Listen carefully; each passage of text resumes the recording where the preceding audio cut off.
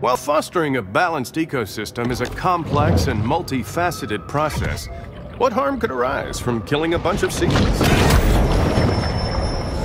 Traveling around, we are constantly reminded of how man's intrusion has disrupted the fragile equilibrium of the marine world.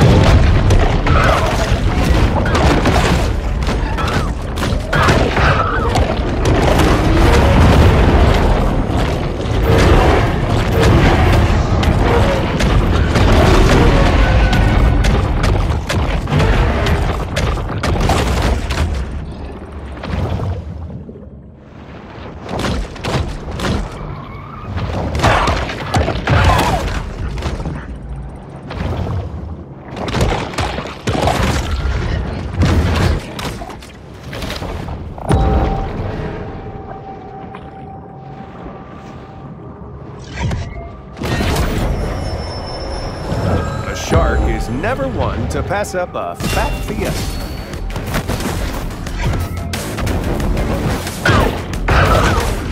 While fostering a balanced ecosystem is a complex and multifaceted process, what harm could arise from killing a bunch of seals?